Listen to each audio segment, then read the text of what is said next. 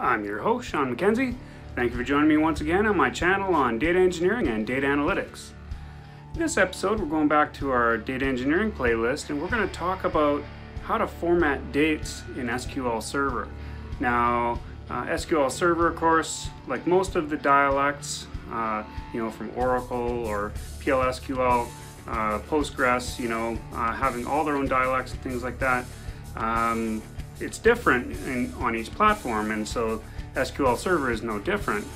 And it turns out that there's two good ways that you can, you know, methods that you can use to format your dates. And uh, whereas it used to be a little bit frustrating on older versions of SQL Server, uh, newer versions from SQL 2012 and over uh, have another function for formatting dates, which is really great. And so you have two methods to choose from, and that makes it nice and easy for formatting your dates. So without further ado, let's get to our date formatting in SQL Server. Okay, so for this example, I'm using uh, SQL Server Management Studio, and I'm just using my YouTube stuff database that I've got on there uh, in my server. and I'm just going to create a table very quickly here, and I'll just call it uh, uh, my data ID, and I'll add a field that's an integer and sort of a, a, a auto number identity and a primary key just so we have that in our table. It's always good practice to put a primary key in your tables. And then I'm just going to put a date in there. So my date is field and then I'll just make that a date time. And uh, we're going to put some some dates in there just so that we can do some uh, date formatting. So what I'll do is uh, I'll uh, go ahead and create that and uh, and uh, there we go. That's created a table for me. So now I'll just insert a couple of rows here.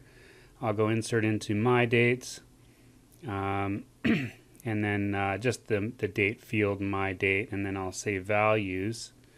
And then uh, I'll use a multiple insert here which you can do uh, for any database systems after uh, SQL Server 2008. but if you're using uh, earlier, uh, you'll have to do separate insert statements uh, for each of these.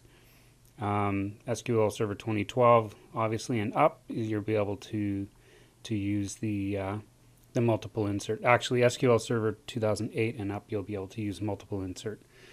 So I'll just add uh, January 1st, 2019, and uh, February 15th, 2020, and uh, March 16th, 2021, and I'll put a time on there of uh, 23:59 um, and 10 seconds, and uh, and and then I'll add one more, I guess, uh, something maybe a little bit later in the in the year, and for that date I'll do something in say November. And you'll notice that I'm actually inserting these using US date format since my system uh, does that. So it's, it's month, day, year as the insert uh, string for, uh, for my statement. But uh, uh, you can also use ISO date and things like that as long as it resolves correctly. So there we go. We've got one insert statement and we've got four date rows that'll go in and uh, and I'll run that one and then we've got our four rows. So now we can go ahead and we can select from that table and uh, and we can start to look at you know the dates and the date formatting. So if I just go select star from my dates, there you go. So this is what we get in our output. Um, the auto auto number or identity field has created uh, our primary key, and as well we have four uh, rows with dates in it. And the first two have no times. Those will be counted as being 12 uh, midnight. And uh, the, but the other two do have times on them, and so uh, that'll that'll shape how they look when we apply some formatting to them. So in method one of two here, I'm going to use the convert function, and uh, it is uh, a function that you can use in older versions of SQL Server uh, and newer versions.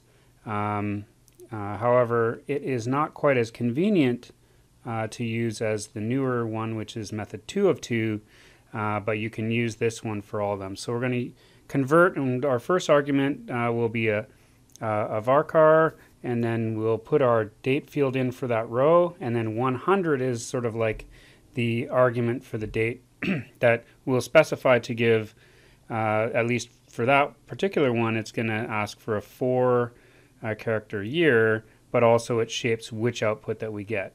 So you can see there's the output for uh, 100, and you can look these up in the Microsoft documentation as well. Um, but as you can see, uh, this one has, uh, it's a Jan 1, 2019 at 12 a.m.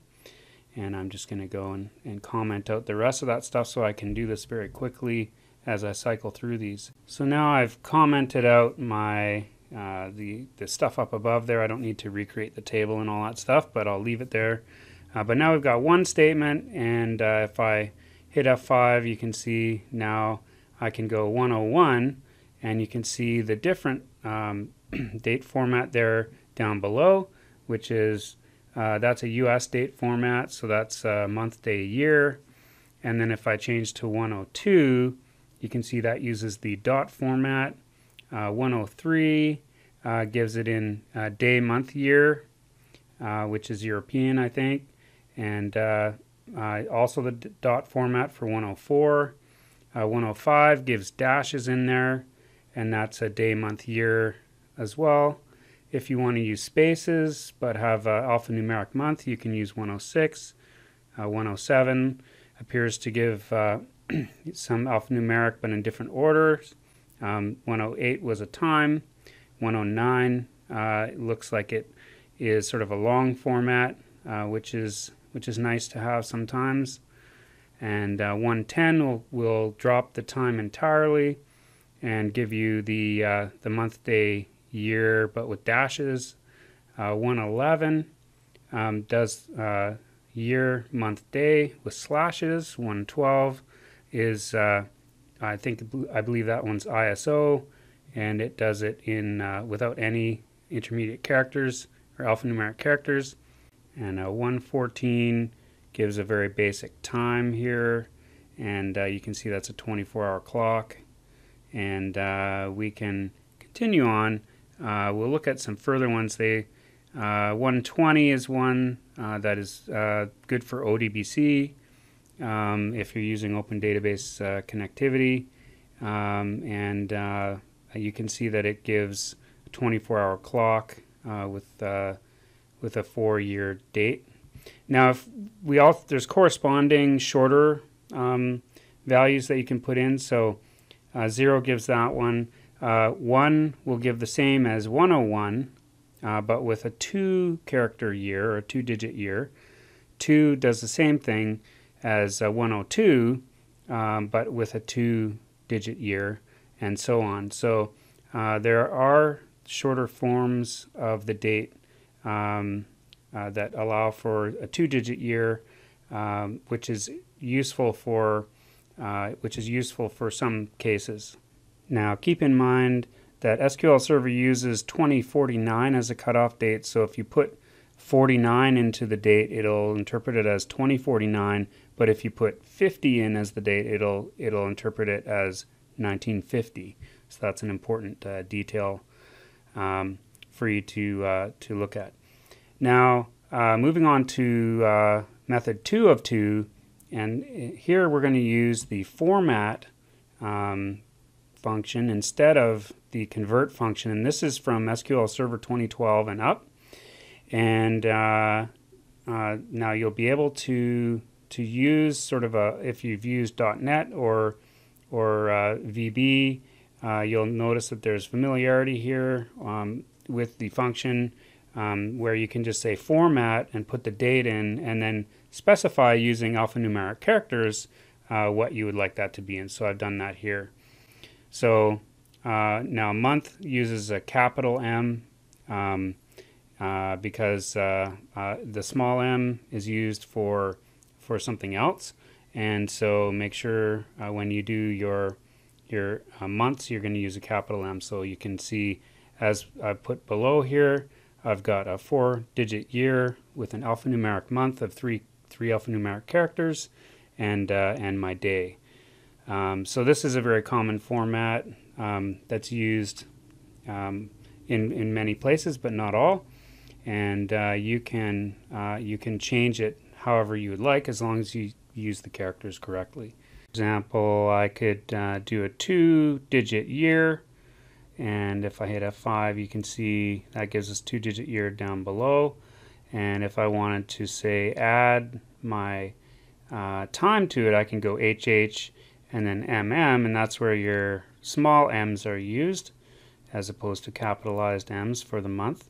Um, so um, if I put a capital H, that'll give a 24 hour clock.